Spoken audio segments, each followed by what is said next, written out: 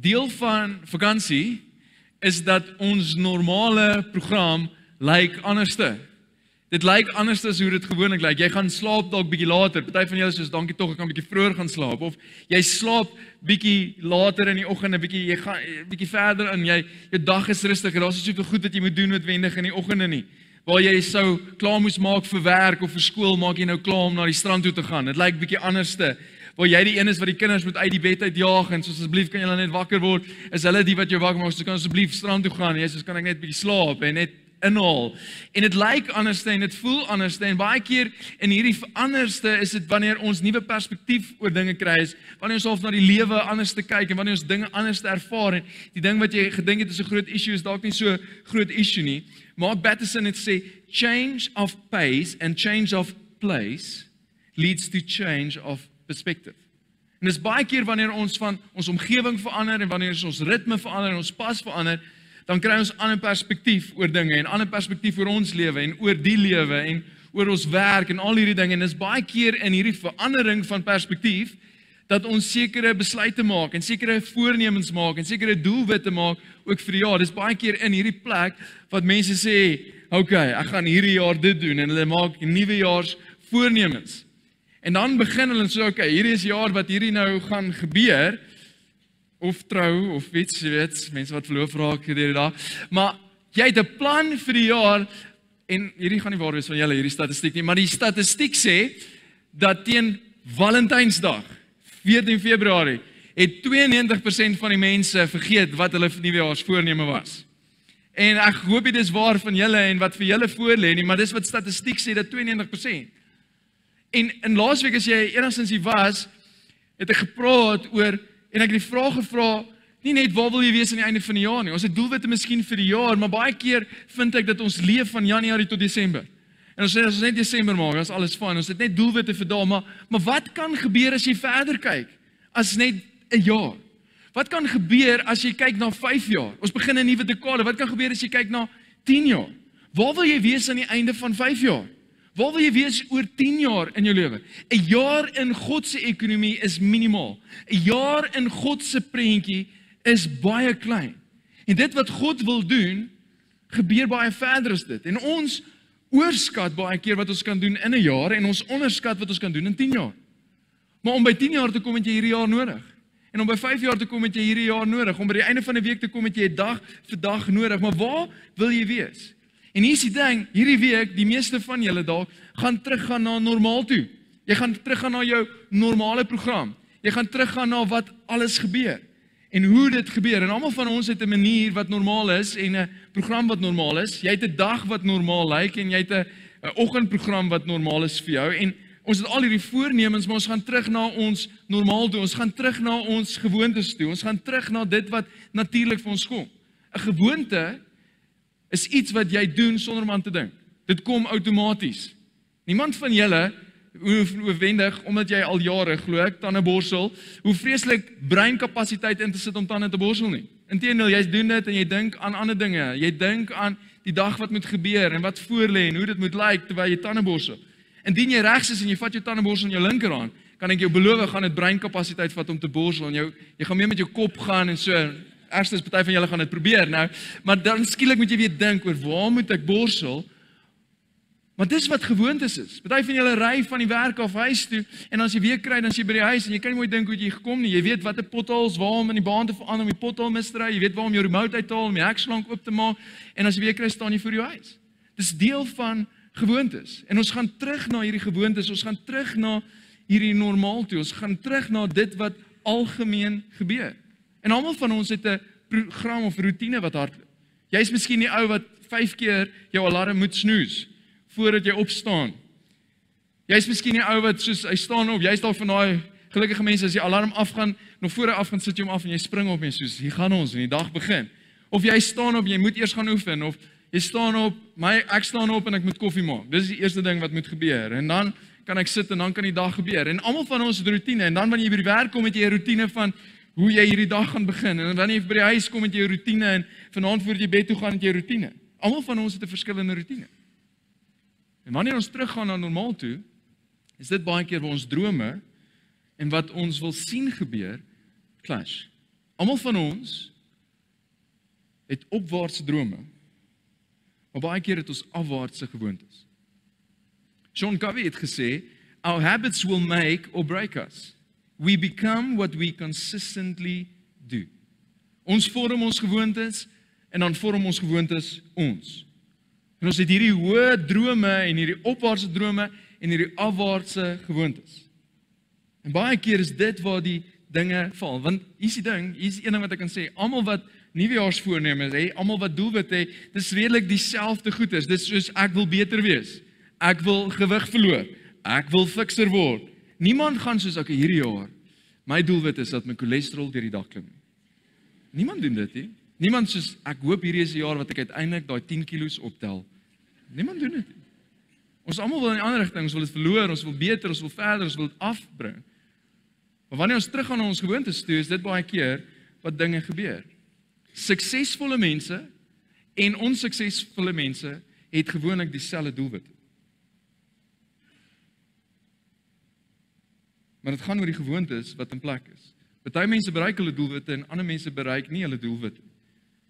En dit gaan oor dat jy 'n stelsel wat jy het. Almal van ons het 'n stelsel. Jy het 'n ritme, jy het 'n rotine. En jy het of die stelsel om jy gekies het dis hoe my rotine gaan lyk like, of dit gebeur net outomaties. Maar daar is 'n stelsel. En dis baie keer ons stelsels en ons rotine doen nie wat ons wil hê ons doelwit moet wees nie. Studies wys dat 40% van wat jy doen in 'n dag is gewoonte. Jy dink nie daaraan. Dit gebeur net outomaties. 40%. Nou so 'n ou wat 'n boek geskryf het, James Clear, hy het 'n boek geskryf Atomic Habits. En in en ek het 'n onderhoud wat hulle met hom gehad geluister en wat hy sê is Yes, dis waar 40% is gewoontes, maar baie keer as gevolg van die gewoonte lei dit tot iets anderste. Met ander woorde, jy het die gewoonte om jou foon uit jou sak te haal om die tyd te kyk, maar dit lei tot volgende iets jy jy sê oei, hier's 'n boodskap, miskien moet ek net gou kyk wat op sosiale media aangaan en voor jou kry jy 'n uur op sosiale media. Of jy die gewoonte om net voor die yskas te staan en hom oop te maak. Maar dit lei gewoonlik tot iets nogs en jy soos miskien gaan die chocolate pudding nou lekker wees of miskien moet ek nou weer hierdie ding en as ons al daai goed bytel wat gebeur as gevolg van ons gewoonte, dan kom dit omtrent tot by 70% van ons dag. Met ander woorde, tussen 40 en 70% van jou dag gebeur net outomaties. En dan het ons hierdie drome. Ons wil hierdie dinge bereik, ons wil hierdie dinge verander.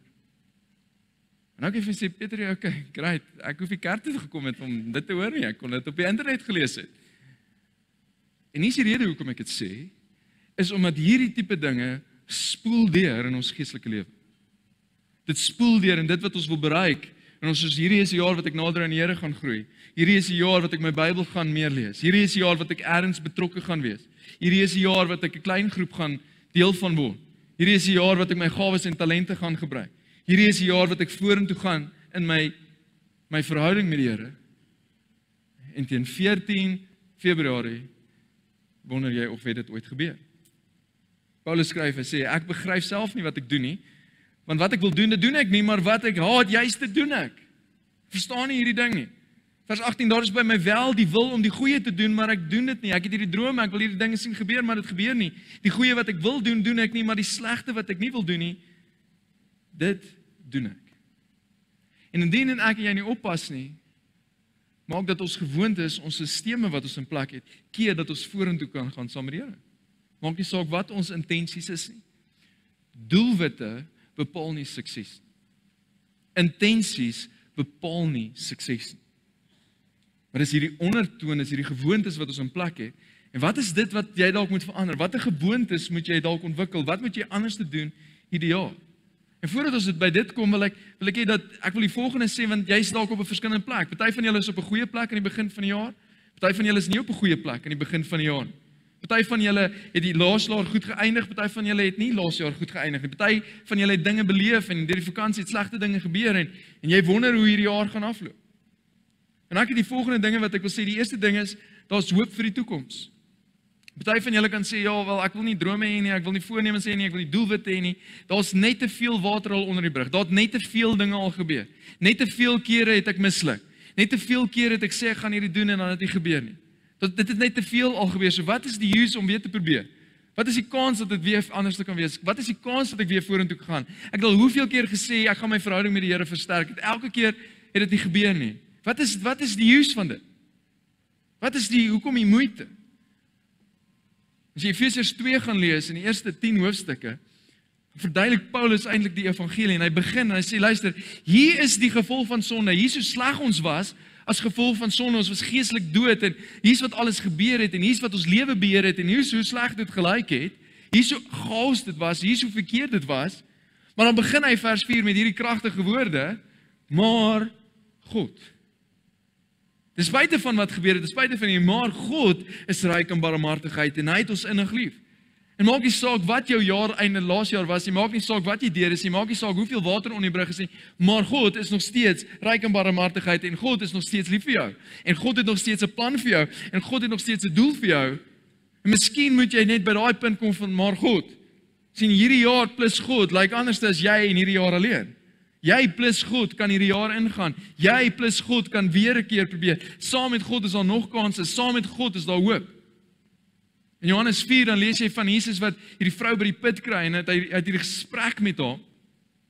En hierdie vrou op daai stadium was al reeds 5 keer getroud.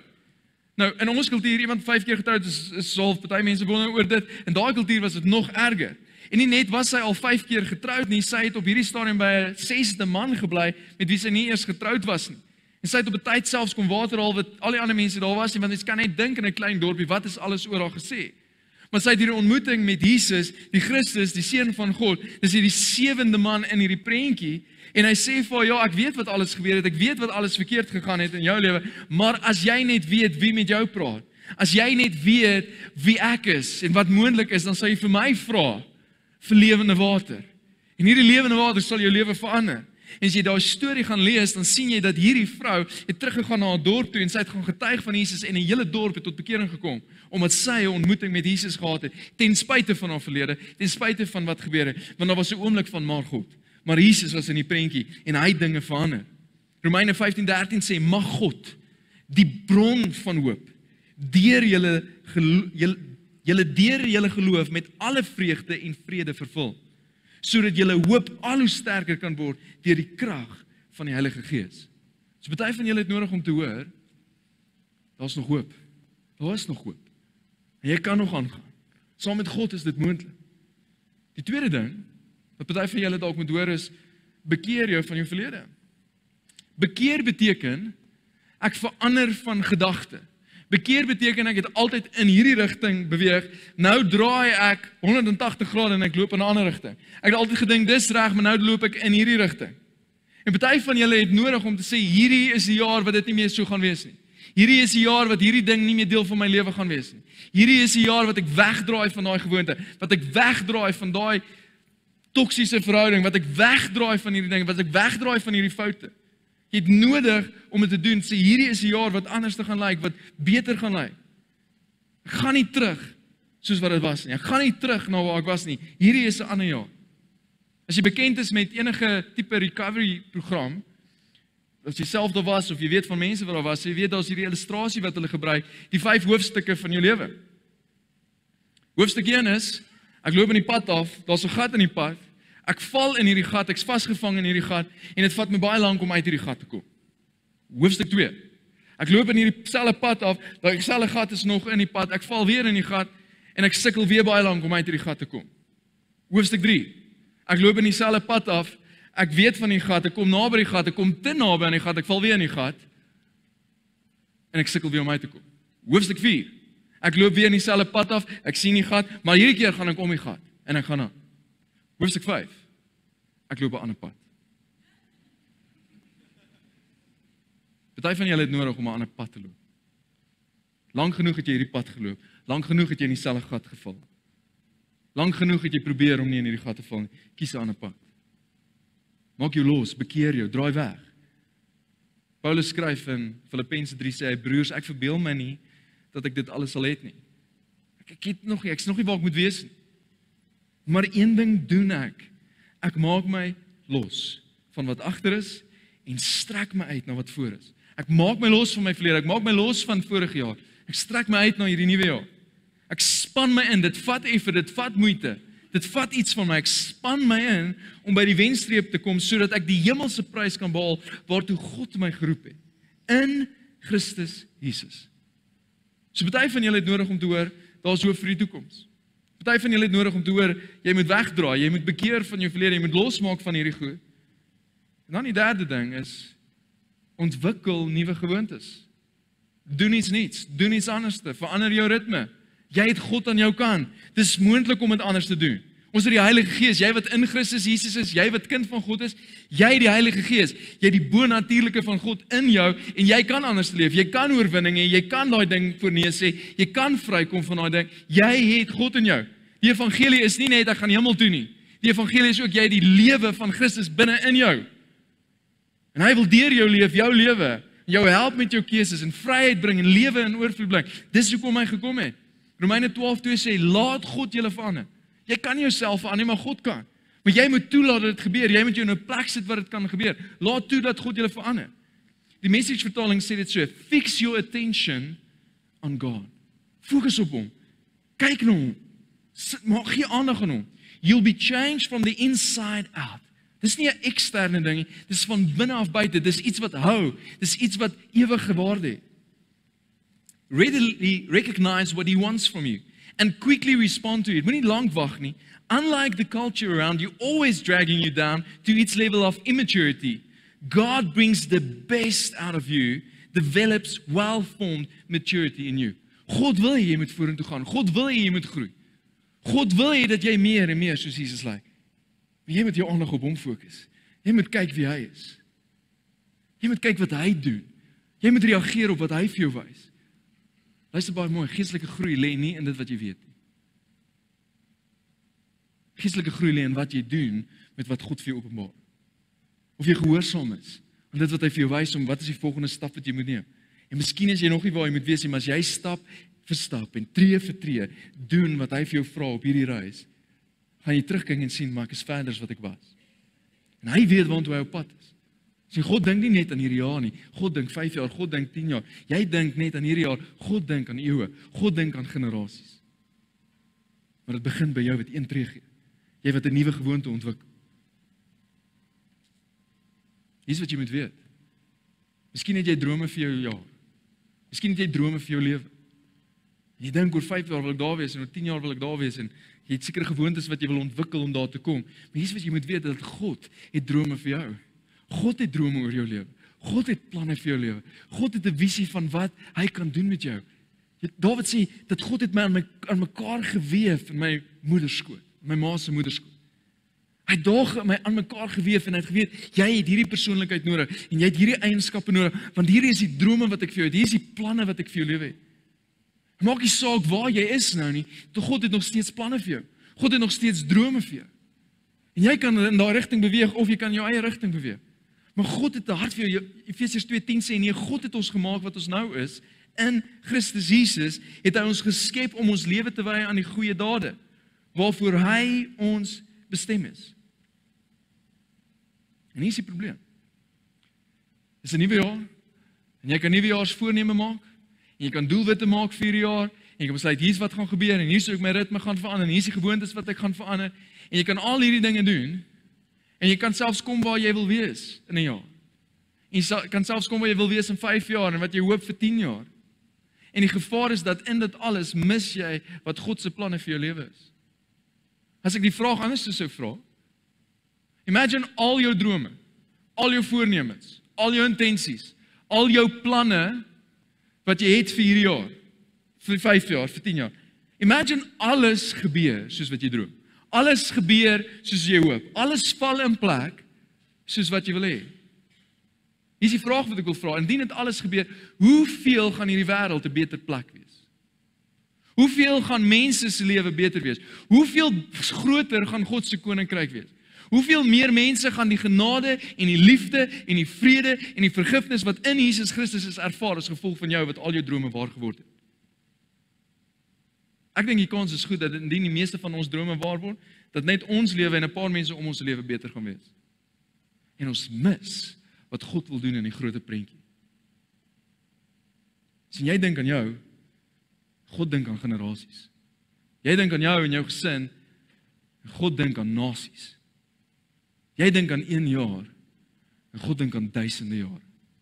Jy dink aan jou storie en God dink aan sy storie. En hy nooi jou uit om deel te wees van dit. Hy nooi jou dat jy kan 'n invloed hê wat vir generasies en vir eeue punte kan tel. Waar wil jy wees in 5 jaar? Waar wil jy wees in 10 jaar? Met God in die prentjie. Met die ewigheid in die prentjie. Met God se storie in die prentjie. Met wat God besig is in hierdie wêreld. In die lig van 'n gebroke wêreld wat smag na die liefde van God. Waar wil jy wees oor 5 jaar? Wat wil jy bereik? Sy aanvoer Jesus se kruisiging sê vir sy disippels: "Julle moet in my bly en ek in julle." 'n Loot kan nie uit sy vrug uit sy eie vrugte dra as hy nie aan die wingerdstok bly nie. En so julle ook nie as julle nie in my bly nie. Ek is die wingerdstok, julle die lote en wie in my bly. En ek en hom dra baie vrugte. Want sonder my kan julle niks doen nie. En baie keer as ek hierdie vers lees, dan sê ek soos daar's baie mense wat nie vir Jesus ken nie en baie dinge doen. So wat bedoel Jesus as hy sê sonder my kan julle niks doen nie?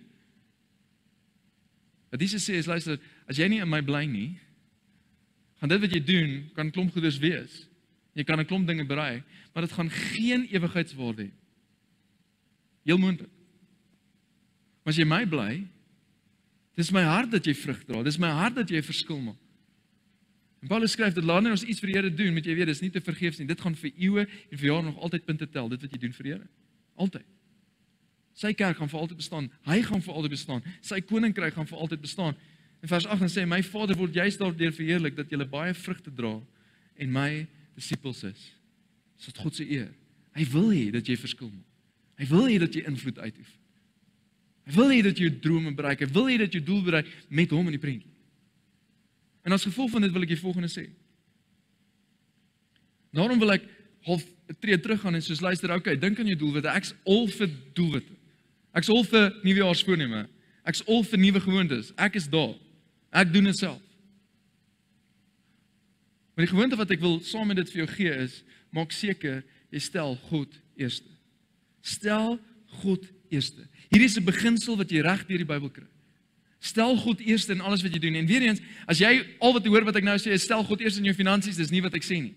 Stel God eerste in alles wat jy doen in alles wat jy aanpak. Stel hom eerste in jou werk, stel hom eerste in jou verhoudings, stel hom eerste in jou huwelik, stel hom eerste in jou studies, stel hom eerste in jou finansies, stel hom eerste in jou drome.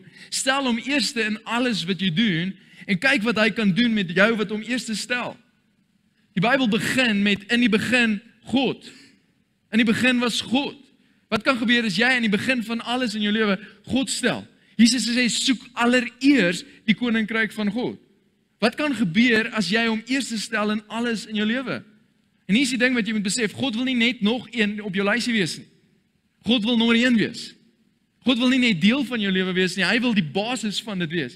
En by the way, as God net deel is van jou lewe en hy sien nommer 1 in jou lewe, wil ek vir jou sê jy het hom nie regtig in jou lewe nie. En hier is die ding, hy verdien om top prioriteit te wees. Want weet jy wat? Hy het eerste die beste gegee. Hy het eerste alles gegee. Hy het sy seun gegee. Hy het die beste gegee. Toe ons nog sondaars was, het Jesus aan 'n kruis gesterf en sy bloed het gevloei en hy het betaal vir mense, jou en my en biljoene mense se sondes. En hy het dit moontlik gemaak dat ons 'n verhouding met die Vader kan hê. En hy het dit moontlik gemaak dat ons vry kan wees en dat ons vryheid kan beleef en dat ons die lewe kan beleef. Hy het dit eers gedoen. Hy het dit nie uit reaksie gedoen van wat ek en jy gedoen nie. Hy het dit eers gedoen omdat hy jou liefgehad het, want so lief het God die wêreld dat hy sy enigste seun gegee het. Hy het dit eers gedoen. Hy verdien om eerste plek te wees en as hy Here van jou lewe is, Here beteken hy is in beheer van jou lewe. He is calling the shots. Ons het net gesê, I am who you say I am. Glo jy dit? Glo jy wat hy sê van jou? Stel hom eerste. Christendom is nie net om God deel te kry van jou lewe in 'n kaartjie hemel toe nie. Christendom is ek orde in my lewe en ek prioritiseer my lewe met hom in die prentjie, met hom eerste in die prentjie. En hier's wat ek wil hê jy moet doen om prakties te raak. Gee God die eerste van alles. Ek wil begin deur te sê gee God die eerste van jou jaar. Wanneer jy jou doelwitte opstel, wanneer jy jou voornemens opstel, bring hom in die prentjie in.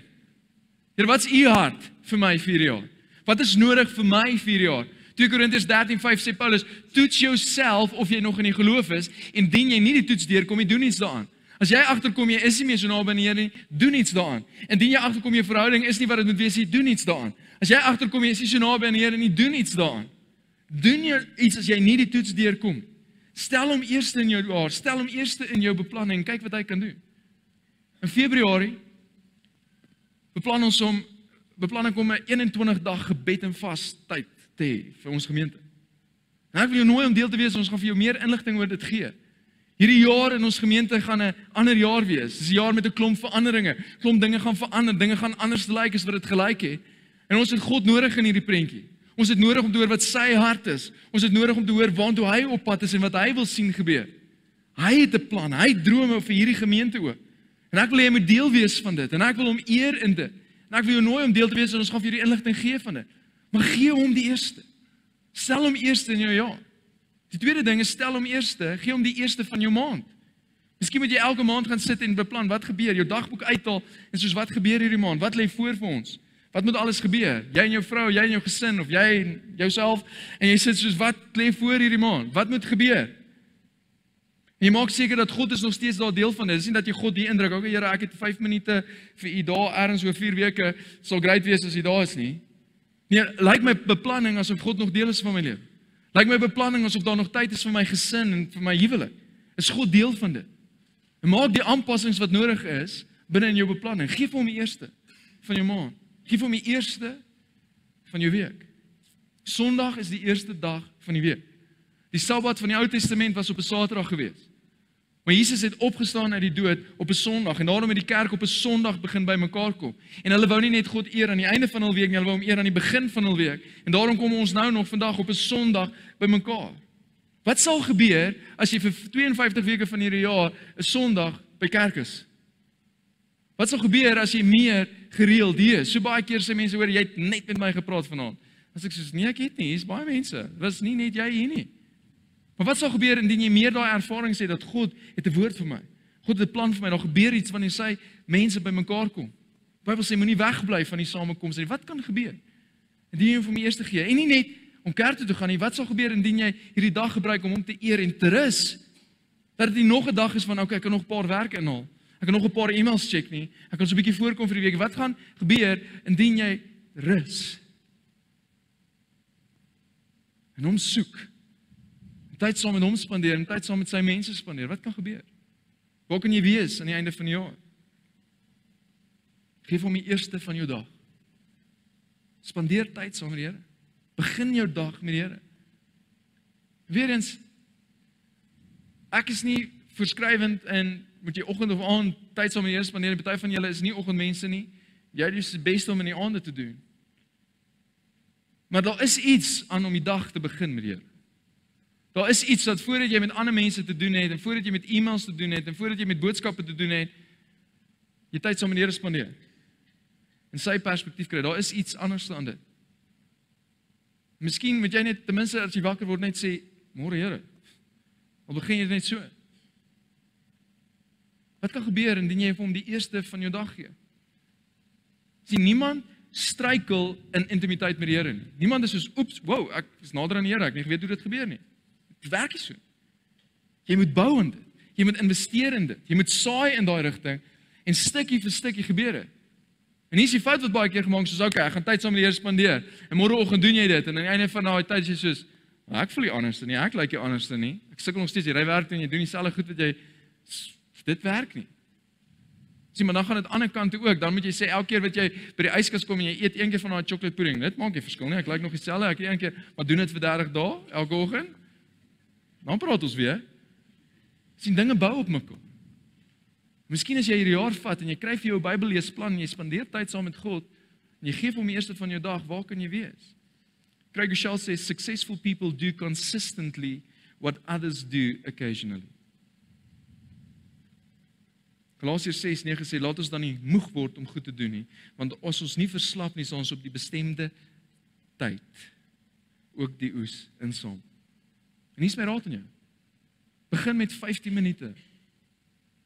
Begin met 5 minute om jou Bybel te lees. Lees 'n hoofstuk. Lees 'n Psalm. Lees 'n Spreuke. Lees vir 5 minute jou Bybel. Kry 'n Bybelleesplan op die YouVersion Bible app. It's a great app. Al die vertalings is daar. Dis verniet. Daar's mense actually in ons kerk wat volunteer vir YouVersion en baie van hierdie planne in Afrikaans vertaal. Kry vir jou die app Kry 'n Bybelleesplan, volg dit. Hê 'n plan. Lees 5 minute jou Bybel.